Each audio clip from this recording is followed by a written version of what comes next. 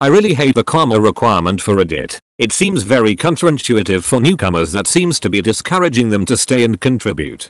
There's actually subs dedicated to giving free karma for this exact reason. That's why I usually just scroll most of the time. So basically, how companies look for work experience and entry level jobs these days? Lol. My account had no karma for 2.5ish years.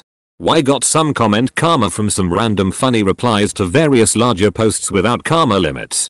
Still almost no post karma, though I'm not sure if it matters which type of karma you have. Upvoting for karma. My post asking for advice never got any feedback 2 weeks later I guess feedback is the correct word. Clear victim villain model evil step parent seem to be a big trend at the moment and post it here. So HH I didn't know. Or commenting but we get it from likes. My first comment had a lot of likes so I didn't even know lol.